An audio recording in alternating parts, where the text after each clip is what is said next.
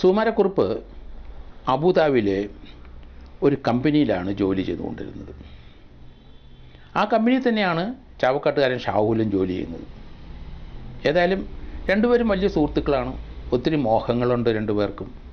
വലിയ പണക്കാരാകണം പണം ഉണ്ടാക്കണം ഏത് വിധേയും പണം ഉണ്ടാക്കണം. രണ്ടുപേരും തുല്യ ദുഃഖിതരാണ് ആ കാര്യത്തിൽ. എന്തായാലും ആ കമ്പനിയിൽ പല മലയാളികളുണ്ടെങ്കിലും കുറുപ്പും അതുപോലെ ഷാഹുലും. രണ്ടുപേരും വലിയ ആത്മാർത്ഥ സുഹൃത്തുക്കളായി പരസ്പരം എല്ലാം പങ്കുവെക്കും. നാട്ടിൽ എങ്ങനെ ജീവിക്കണം എങ്ങനെയെങ്കിലും വീടുണ്ടാക്കണം വലിയ സൗദം ഉണ്ടാക്കണം നല്ല പണക്കാരനാകണം കഷ്ടപ്പെട്ട് പണം ഉണ്ടാക്കണം. ഏതായാലും ഇതൊന്നും പ്രായോഗികമായിട്ട് അവിടെ നടക്കുന്നില്ല. കമ്പനിക്ക് ഇപ്പോൾ സാമ്പത്തിക പ്രതിസന്ധിയായി. അതുകൊണ്ട് കമ്പനി പൂട്ടാനുള്ള സാധ്യതയുണ്ട്. കുറേ പണം എങ്ങനെയെങ്കിലും ഉണ്ടാക്കിയേ പറ്റൂ. രണ്ടുപേരും ചിന്തയാണ്.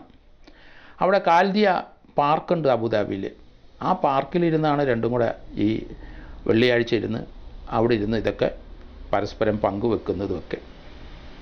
എന്തായാലും ആ സംസാരത്തിന്റെ ഇടയ്ക്ക് സുകുമാരക്കുറിപ്പ് ഒരു ചോദ്യം ഷാവുലിന്റെ അടുത്ത് ചോദിച്ചു. നീ ആരെയെങ്കിലും കൊന്നിട്ടുണ്ടോ? അവൻ ഞടുങ്ങി. ഞാൻ എന്തിനു കൊല്ലണം? എനിക്ക് എന്റെ ആവശ്യമില്ലല്ലോ.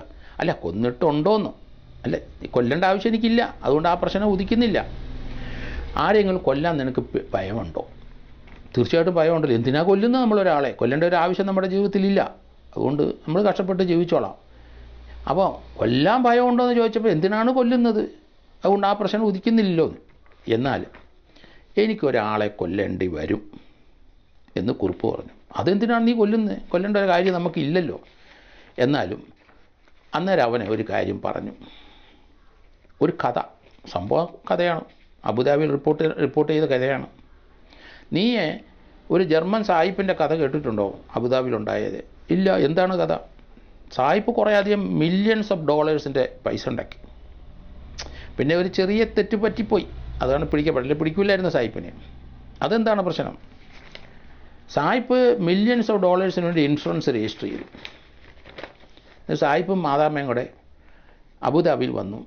അവിടുത്തെ ബീച്ചിലൊക്കെ ഇരുന്നു അയാൾ സ്കൂബ ഡൈവിംഗ് ഒക്കെ നടത്തും. ആൾക്കാർ ബീച്ചിലിരിക്കുന്നവർക്കെല്ലാം കാണാം. ഇയാൾ ഈ സ്കൂബ ഡൈവിന്റെ ഡ്രസ്സൊക്കെ ഇട്ട് ഇയാൾ വെള്ളത്തിലോട്ട് ഇറങ്ങുന്നതും ഒരു മണിക്കൂർ രണ്ട് മണിക്കൂർ വെള്ളത്തിനടിയിലൊക്കെ ഇരിക്കുന്നതും. അങ്ങനെ അതാണ് ആ സ്വിമ്മിങ് ഉള്ളവർക്കറിയാം. അല്ലെങ്കിൽ അണ്ടർ വാട്ടർ സ്വിമ്മിങ്ങിന് ഉപയോഗിക്കുന്നതാണ് സ്കൂബ ഡൈവിങ് അപ്പോൾ അതിനകത്ത് ഇതിനകത്ത് ക്ലോസ്ഡും ഉണ്ട് ഓപ്പണും ഉണ്ട് ഈ സ്കൂബ ഡ്രൈവിങ്ങിന്റെ മെഷീൻ കാരണം നമുക്ക് വെള്ളത്തിൽ നമുക്കറിയാം നമ്മൾ ചിലർ നമ്മൾ വെള്ളത്തിൽ കൂടെ നീന്തുന്നവരെ കണ്ടിട്ടുണ്ട്. പുറവശത്ത് ഓക്സിജൻ സിലിണ്ടർ ഇട്ടിട്ട്. പക്ഷേ അത് ഓപ്പൺ ആണെങ്കിൽ നമുക്ക് ആവശ്യത്തുള്ള വായു ആ സിലിണ്ടറിനകത്ത് നിന്ന് എടുക്കാം. ഉച്ഛ്വാസവായു വെളിയിലോട്ട് ബബിൾസ് ആയിട്ട് വിടും. അത് ഓപ്പൺ ആണ്. ക്ലോസ്ഡ് സിലിണ്ടറുണ്ട് സ്കൂബ ഡൈവിന്റെ. ക്ലോസ്ഡ് ആണെങ്കിൽ ഉച്ഛ്വാസവായു വീണ്ടും ഈ സിലിണ്ടറിനകത്ത് കയറി അത് ഫിൽട്ടർ ചെയ്ത് വീണ്ടും ഒരു ഡക്റ്റിൽ കൂടെ നമുക്ക് വരും. അപ്പോൾ രണ്ട് മണിക്കൂറോ മൂന്ന് മണിക്കൂറോ നാല് മണിക്കൂറോ വേണമെങ്കിൽ നമുക്ക് വെള്ളത്തിനടിയിൽ ശ്വാസോച്ഛ്വാസം ഇങ്ങനെ ചെയ്ത് നമുക്ക് കഴിയാം. സ്കൂബ ഡൈവിങ് ഇത് രണ്ടാം ലോകമായത് കണ്ടുപിടിച്ച ഒരു ഒരു ഒരു ഇൻസ്ട്രുമെന്റാണത് അത് രണ്ടാം ലോകമായത് സമയത്ത് self contained under water breathing അപ്പാരറ്റസിന്റെ ചുരുക്കപ്പേരാണ് scuba S U B A ഇത് രണ്ടാം ലോകമായുദ്ധ കാലത്ത് അമേരിക്കയിലെ ഒരു സയന്റിസ്റ്റ് ലോം ജെ ലോം ലൊംബാർട്ട് കണ്ടുപിടിച്ചതാണ്. അപ്പം അതാണ് സ്കൂബ ഡൈവിന് പുറത്തിട്ട് പോകുന്നത്. നമുക്കൊരു സ്പെയർ ആയിട്ടുള്ള ഒരു സിലിണ്ടർ കൂടെ കൊണ്ടുപോകാൻ പറ്റും. അപ്പോൾ രണ്ട് സിലിണ്ടർ ചിലർ ഇടുന്നത് നമുക്കറിയാം നമ്മളെ ഈ വൈൽഡ് ലൈഫിന്റെ മറ്റേ ഇതിലൊക്കെ സയൻസിന്റെ ടുഡേയിലൊക്കെ ചാനലിനകത്ത് അണ്ടർ വാട്ടർ സ്കിമ്മിങ് സ്വിമ്മിങ് കാണിക്കുന്നുണ്ട്. സിലിണ്ടർ ഒരെണ്ണം ഇട്ട് പോകുന്നവരുണ്ട് രണ്ടെണ്ണം പുറവശത്തിട്ടവർ പോയതൊക്കെ നമ്മൾ കാണാം. അപ്പോൾ അങ്ങനെ ജർമ്മനിലെ മാതാമൻ സാഹിബ് അബുദാബി കൊണ്ടു വന്ന് താമസിച്ചിട്ട് ഇയാൾ എല്ലാ മിക്കവാറും ദിവസം സ്കൂബ ഡൈവിങ് നടത്തും. എല്ലാവർക്കും ഇയാളെ അറിയാം. ജർമ്മൻ സാഹിബിനെ അറിയാം. അങ്ങനെ സ്കൂബ ഡൈവിങ് നടത്തി ഭാര്യ സന്തോഷിച്ചിരുന്ന സമയത്ത് ഇയാൾ വെള്ളത്തിനടിയിൽ പോയിട്ട് പിന്നെ പൊങ്ങി വന്നില്ല. പിന്നെ കണ്ടേയില്ല. ഏതായാലും ഭാര്യയ്ക്ക് മില്യൺസ് ഓഫ് ഡോളേഴ്സ് അതിന്റെ കോമ്പൻസ് ഇയാൾ മരിച്ചു ചത്തു. ഇയാളെ കണ്ടിട്ടില്ല. ഇൻസ്ട്രുമെന്റും കണ്ടില്ല. മുങ്ങും വിധത്തിൽ പലരും വന്ന് തപ്പി നോക്കിയിട്ട് കണ്ടിട്ടേയില്ല. അബുദാബി നടന്ന സംഭവമാണ്. ഇത് എവിടെങ്കിലും പത്രങ്ങളിലൊക്കെ വന്നു. ഏതായാലും വർഷങ്ങൾക്ക് ശേഷം ഈ കമ്പനിക്കാർക്ക് അതുപോലെ ഹെവി ലോസ് വന്നിരിക്കുന്നു. അവർ അവരുടെ സ്പൈയെ അവരെ പ്രൈവറ്റ് ഇൻവെസ്റ്റിഗേഷനൊക്കെ നടത്തി നടത്തി സൗത്ത് ഏഷ്യൻ കൺട്രിയിൽ ഒരു സ്ഥലത്ത് വെച്ചിട്ട് ഇയാളെ കണ്ടെത്തി. ഈ സ്കൂബ ഡൈവിങ് ചെയ്ത് മരിച്ചയാളെ കണ്ടെത്തി. വലിയ പ്രശ്നം. അത് അങ്ങനെയാണ് കമ്പനി ആ കമ്പനിയെ പറ്റിച്ച് പൈസ വാങ്ങിച്ചാണെന്ന ആമുഖമാലെ അവർക്കറിയാം. അങ്ങനെ ധാരണയുണ്ട്. പക്ഷേ എത്രയോ വർഷത്തിന് ശേഷം ഇയാളെ കണ്ടെത്തി. അവിടെ പാളിപ്പോയി. അപ്പോൾ കുറിപ്പ് പറഞ്ഞ് ഇങ്ങനൊരു സംഭവമുണ്ട്. അത് അയാൾ മണ്ടനായതുകൊണ്ടാണ് അല്ലെങ്കിൽ അത് ആയിരുന്നില്ല. കൈകാര്യം ചെയ്യേണ്ടത്. കാര്യങ്ങൾ ഏതായാലും സക്സസ്ഫുൾ ആയിട്ട് വിജയിച്ചല്ലോ. പക്ഷേ പിന്നീട് അയാൾ അഞ്ചാറ് വർഷം കഴിഞ്ഞപ്പം അയാൾ തോന്നിയ മാസം നടന്ന് നടന്ന് അപ്പം കമ്പനിക്കാർ അതിന്റെ പുറകെ പോയി ഇയാളെ കണ്ടെത്തി. ജീവനോടെ വിളിച്ചു. മരിച്ച മനുഷ്യനെ തിരിച്ചു കിട്ടി അപ്പോൾ അതുപോലെയൊന്നും നമുക്ക് പറ്റൂല. അതുകൊണ്ട് ഇയാൾ അവന്റെ അടുത്ത് പറഞ്ഞു നമ്മളൊരു ഓപ്പറേഷൻ നടത്താൻ പോവാണ്. ഞാൻ ഏതാണ്ട് മുപ്പത്തെട്ട് നാൽപ്പത് ലക്ഷം രൂപയ്ക്ക് ഇൻഷുറൻസ് എടുത്തു കഴിഞ്ഞു. കമ്പനി ലോസിൽ പോവുകയാണ് കമ്പനി നമ്മളെ പിരിച്ചുവിടും. അതുകൊണ്ട് ഞാൻ സ്വയം മരിക്കാൻ തന്നെ തീരുമാനിച്ചു. നീ അതിനെ സഹായിക്കണം. നിനക്കൊരു വീതം കൂടെ തരാം. ഏതായാലും കുറച്ച് ദിവസത്തെ ആലോചിച്ചതിന്റെ ഇടയ്ക്ക് ഇവന് അതിനകത്തൊന്നും ചാടാനായിട്ട് ഇവന്റെ മനസ്സ് വന്നില്ലെങ്കിലും ഇയാളുമായിട്ട് സംസാരിച്ച ശേഷം അവനോട് അതിന് തയ്യാറായി. അങ്ങനെ നാട്ടിലേക്ക് പോകാം. ഏതായാലും ഇവിടെ ഭാസ്കർ പിള്ളയുമായിട്ട് കാർ അഡീഷണൽ വാങ്ങിച്ചിട്ടു. പൊന്നപ്പനും ഭാസ്കർ പിള്ള ഇയാളുമൊക്കെ ആലോചന നടത്തി. ഒരാളെ അവർ ഡെഡ് ബോഡി നോക്കി കിട്ടിയില്ല ശവക്കോട്ടയെ നോക്കി കിട്ടിയില്ല. അവസാനം ഒരാളെ കൊല്ലാൻ തന്നെ തീരുമാനം എടുത്ത ശേഷമാണ് ഷാഹുലിന്റെ അടുത്ത് ഇവര അവതരിപ്പിക്കുന്നത്. ഏതായാലും ഷാഹുലിനോട് സഹായത്തിന് വേണം. മൂന്നാൽ പേര് വേണം.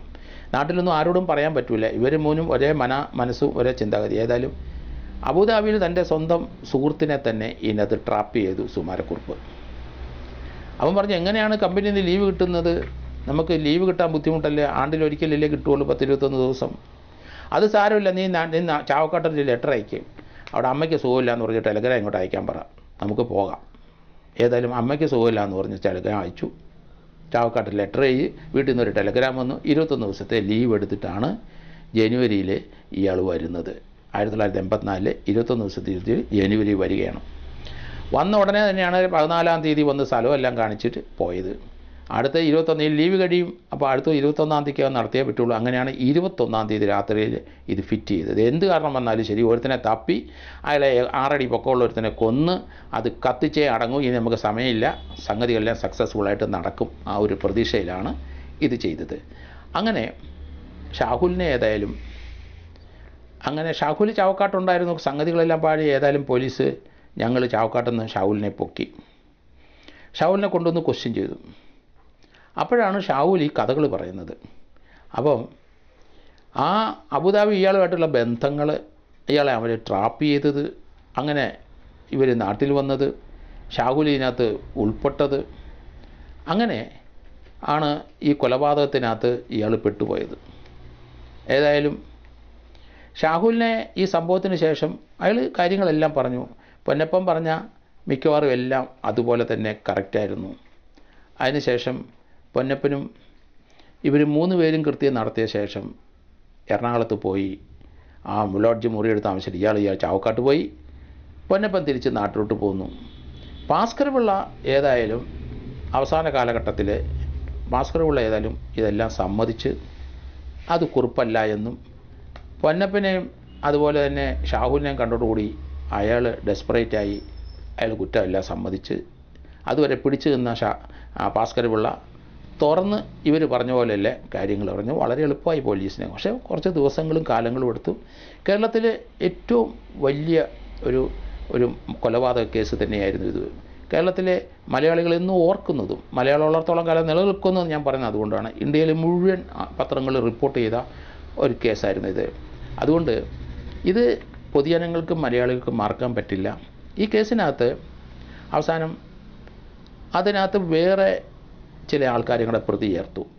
ഏതായാലും ഭാസ്കർ പിള്ളയും അതുപോലെ തന്നെ പൊന്നപ്പനും ഷാഹുലും നടന്ന സംഭവങ്ങൾ അതേപടി അവർ സമ്മതിച്ചു. ഏതായാലും സുകുമാരക്കുറിപ്പ് ഇതിനകത്ത് രക്ഷപ്പെട്ടു. അവൻ പിന്നെ ആരും കണ്ടിട്ടില്ല സംഭവത്തിന് ശേഷം. എറണാകുളത്ത് വെച്ച് ഡിസപ്പിയർ ചെയ്തു. ആ സുകുമാരക്കുറിപ്പിനെ സം ആണ് അതേ പിടിക്കാൻ വേണ്ടിയിട്ടുള്ള ഒരു ദൊരയിൽ പിടിക്കാൻ വേണ്ടിയിട്ടുള്ള ഒരു സഞ്ചാരം പോലീസ് അന്ന് മുതൽ നടത്തിക്കൊണ്ടിരിക്കുകയാണ്. അത് എന്റെ പീരീഡിൽ അത് പര്യവസാനിപ്പിച്ചിരുന്നുണ്ട് പക്ഷേ സുകുമാരക്കുറുമ്പിനെ പിടിക്കാൻ അന്ന് മുതൽ ചില പോലീസ് ചില തന്ത്രങ്ങൾ ആ സംഭവ സ്ഥലത്തും അവിടെ അവിടെ പോലീസ് ഒരുക്കിയിരുന്നു. അതിനകത്ത് ആരെയൊക്കെ പ്രതി ചേർത്തു എന്നുള്ള കാര്യം ഞാൻ അടുത്ത ദിവസം പറയാം.